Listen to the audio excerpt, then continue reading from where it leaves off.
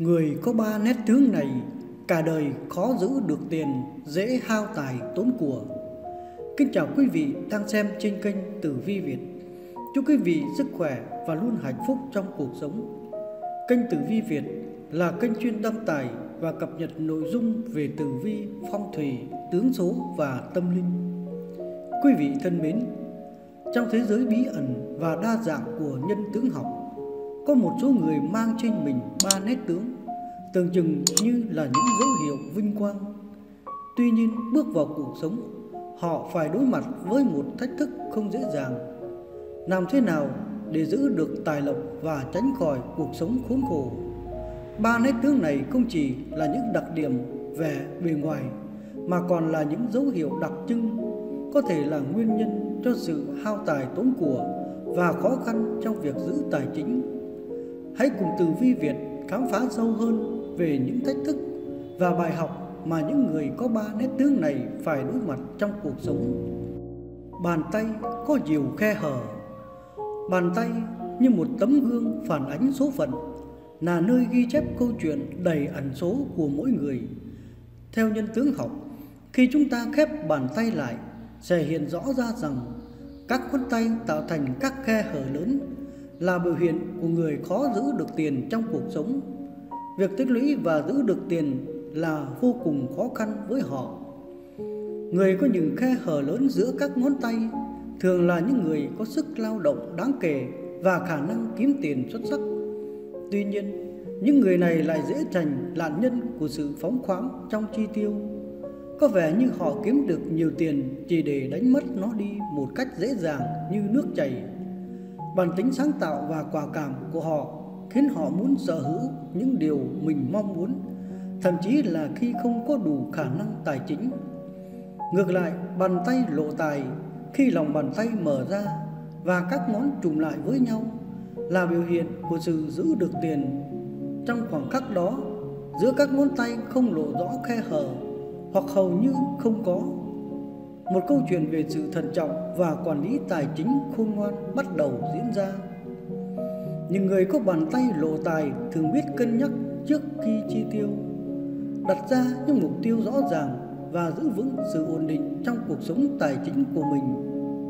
Dù có ít tiền, họ vẫn biết cách tạo ra giá trị từ những gì mình có. Bằng sự tỉ mỉ và quyết đoán, họ không chỉ giữ được của cải mà còn xây dựng nền tảng vững chắc cho tương lai. Những câu chuyện về bàn tay có lẽ chỉ là những manh mối nhỏ trong bức tranh lớn về cuộc sống tài chính. Nhưng đôi khi, chúng ta có thể là nguồn cảm hứng lớn để suy ngẫm về cách quản lý tài chính của mình. Ấn đường có nhiều nếp nhăn. Khi nhìn vào ấn đường của một người dưới góc độ của nhân tướng học, ta thấy được nhiều điều về con người đó. Ấn đường, nơi những đường nét trên khuôn mặt trở thành hình ảnh tinh tế về định mệnh và sự vận mệnh con người. Người ta thường nói khuôn mặt là tâm hồn và ấn đường là điểm nhấn tâm linh đặc biệt trong đó. Chúng ta thường gặp những người có nhiều nếp nhăn trên ấn đường, nét rãnh sâu và đan xen như một mê cung của thời gian.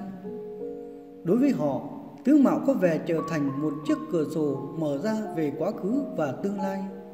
Nếu nhìn kỹ, mỗi nếp nhăn là một câu chuyện một góc nhìn về cuộc sống đầy biến động và thách thức.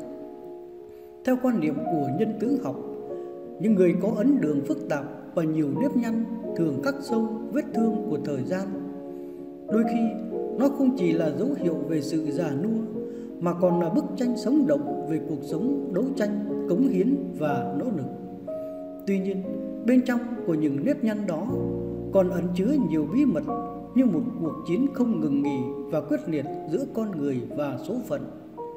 Nếp nhăn trên ấn đường đang hiện lên không chỉ là biểu tượng của sự khắc khổ, mà còn là khoảng thời gian đầy gian nan.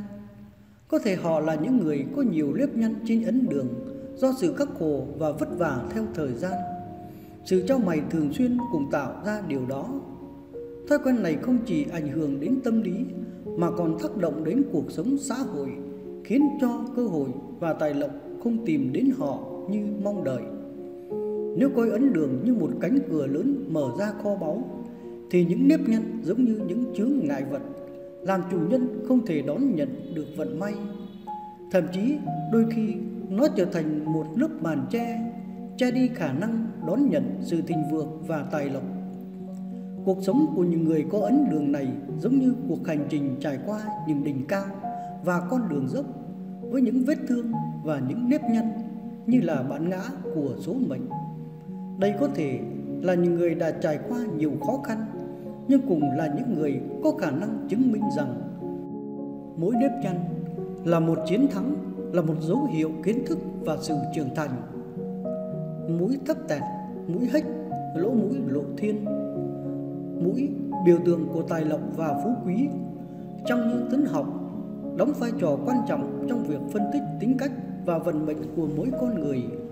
Mũi còn được biết đến với tên gọi là cung tài bạch. Từng đường nét trên mũi như một dấu ấn của số phận, định hình đường đời. Dáng mũi tẹt, lỗ mũi thấp và đường nét hách lộ thiên thường là dấu hiệu của khả năng có giữ được tài lộc và của cải mũi tẹt với phần sống mũi thấp, xương mũi to bè và đầu mũi lớn, là biểu tượng của những người thiếu chính kiến, dễ chịu ảnh hưởng và áp đặt từ người khác. Người sở hữu nét tướng mũi như thế thường thể hiện sự thiếu quyết đoán và tích cực trong cuộc sống. Họ có thể chần chừ, sợ hãi khi đối mặt với khó khăn và thậm chí là dễ bỏ cuộc giữa chừng. Sự thiếu quyết đoán này cản trở họ khỏi việc nắm bắt cơ hội và tiến lên trong sự nghiệp cũng như trong mối quan hệ tình cảm. Có câu ngạn ngữ người xưa đưa ra như một cảnh báo, lỗ mũi mà hứng hạt mưa, phù ấm để thừa tài sản cũng tiêu. Dòng ngôn ngữ này nồng ghép hình ảnh lỗ mũi rộng và lỗ mũi của một kho đựng tiền. Chúng ám chỉ, những người có dáng mũi như vậy có khả năng tiêu tiền một cách dễ dàng và khó giữ được tài sản của cải thường xuyên chảy ra ngoài như những hạt mưa không ngừng. Do đó, cuộc sống của những người này có thể đối mặt với những thách thức khó khăn và sự khó khăn về tài chính. Tuy nhiên, những người có dáng mũi như vậy cũng có cơ hội để tỉnh táo, thay đổi và học hỏi từ những trải nghiệm để có thể xây dựng một cuộc sống vững chắc và thành vượng hơn. Cuối cùng, nhận thức về những đặc điểm trong nhân tướng học chỉ là một khía cạnh của số mệnh và cuộc sống của mỗi người. Chúng có thể là yếu tố ảnh hưởng, nhưng không phải là quyết định duy nhất. Cuộc sống hạnh phúc và thành công đều phụ thuộc vào nhiều yếu tố khác nhau, và chúng ta có thể làm thay đổi được nhiều điều thông qua sự nỗ lực và quyết tâm. Khám phá những đặc điểm khác trên cơ thể và nội tâm.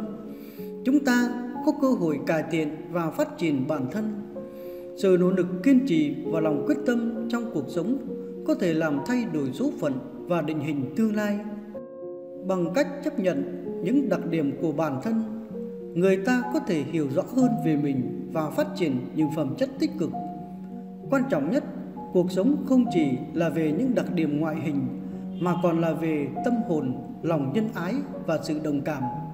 Bằng cách tập trung vào những giá trị này và xây dựng mối quan hệ tích cực với người khác. Mỗi người có thể tạo ra một cuộc sống đầy ý nghĩa và hạnh phúc, vượt lên trên những giới hạn mà nhân tướng học có thể đặt ra. Điều quan trọng là không bao giờ từ bỏ, luôn giữ vững lòng tin và tiếp tục nỗ lực để trở thành phiên bản tốt nhất của chính mình.